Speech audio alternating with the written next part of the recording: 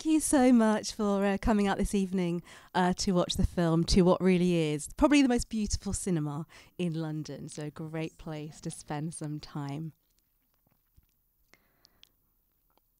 Growing up in the 80s, there was only one version I saw and knew of about Bangladesh, and that was the natural disasters. Fierce cyclones culminating in the worst floods in history. The desperation of helpless people having their lives washed away from beneath their feet was all you ever saw on the news. The worst floods in the world were then replaced by the worst working conditions in the world following the Rana Plaza factory collapse in Dhaka in April 2013 when over a thousand garment workers died. This is a country where its people have suffered from the very beginning. The birth of Bangladesh is a bloody one. The War of Independence in 1971 saw over 300,000 people killed. But that revolution was made possible by the mass uprising of Bangladeshi people.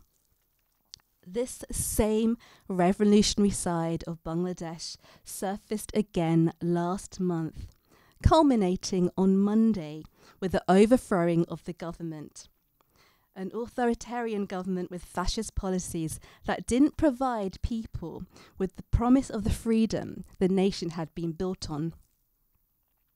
One of the controversial and dangerous values that of the government had was to try and silence artists. A Digital Security Act was passed in 2018, policing what people said and did online, particularly anyone speaking in favour of secularism. The Act allowed people to be detained without a warrant, simply for sharing their opinions. Many of them disappeared. Others were imprisoned or tortured, and they included journalists, cartoonists, musicians, and artists. And this is one of the themes that debut filmmaker Rezwan Shahriar Sumit explores in The Salt in Our Waters. In some ways, it's a universal tale. City dweller moves to the countryside, resulting in a culture clash. But the story goes much deeper than general conflict. The location that you'll see in the film is a typical small fishing village. These are found along the coast of the Bay of Bengal, which has the longest natural sea beach in the world. So you'll find 20 to 30 homes lived in by fishermen in clusters, and these will be dotted along the coast. Now, these communities have very strong conservative and superstitious values. In fact, superstition guides their life. So, when our protagonist, Rudro, turns up with his art studio and moves into a close knit community, the reaction to his work, though may seem absurd to an outsider, in fact is how the world is seen according to the fishermen.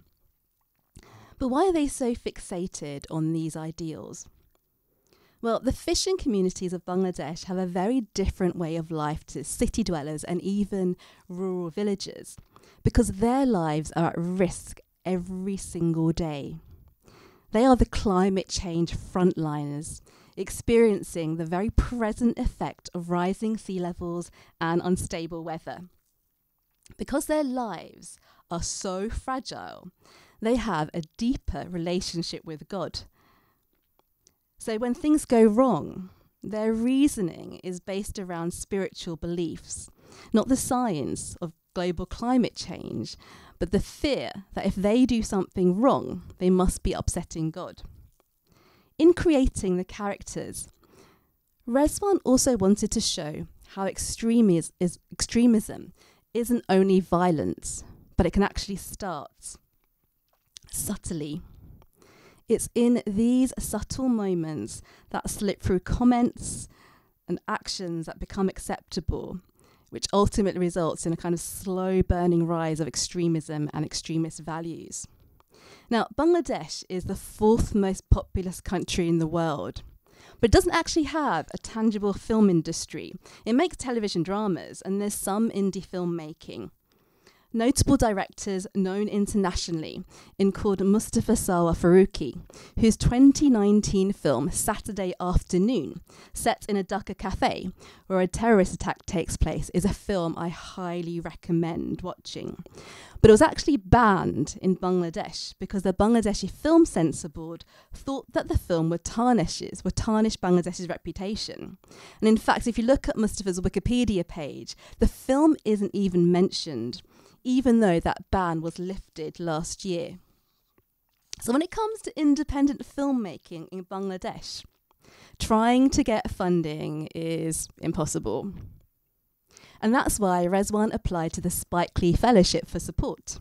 So each year, Spike Lee awards grants to five film projects, and The Salt in Our Waters was successful in being funded in 2016.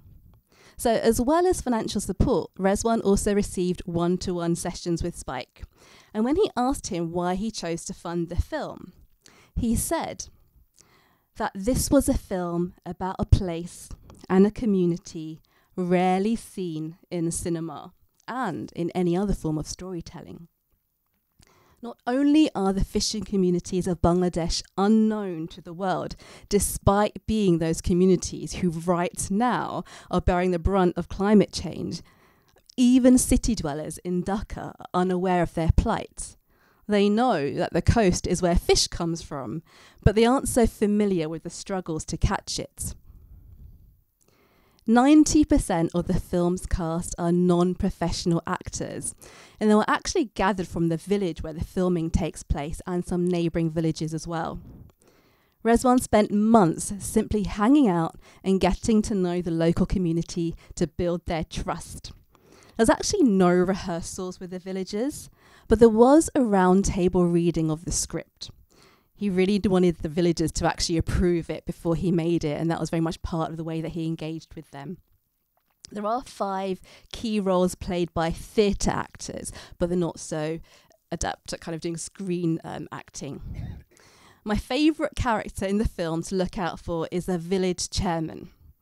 The way he delivers his lines reminds me of the busybody men I knew growing up in North London who always had to have their say. When I was a teenager, I made a documentary that was screened on Channel 4, and I wanted to film in my local mosque. And I remember his type. they literally were just like completely anti female filmmaker and didn't want me to go near them or do anything like this. You know, it was kind of like shameful to be doing this. But thankfully, my own parents never gave in to these elders of the community. And I guess that was pretty much the beginnings of my journalist career. So, we have a debut director, we have a modest budget, we have a cast of untrained actors, and a location with extreme weather conditions. And to top it all off, filming took place during the monsoon season. So, this is the months of the year when Bangladesh gets around 80% of its annual rainfall. But these are the conditions that make this film so captivating to watch. It opens with a desolate grey seascape, and this is the real colour. Captured at a time when the sea and the sky and the beaches are all grey.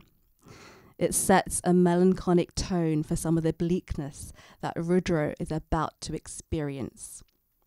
The cinematography is exquisite. One of Spike Lee's suggestions to Rezwan was that as this was his directorial debut, he should surround himself with an experienced team.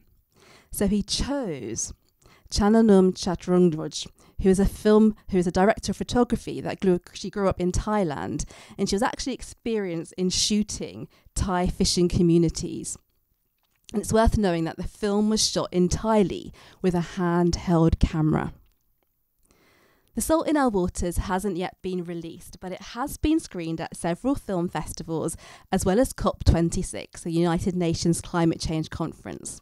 So tonight, you are still among the few people who've had a chance to enjoy this masterpiece. So thank you for coming, and welcome to the unknown, intriguing world of the Ilishmuch fishermen.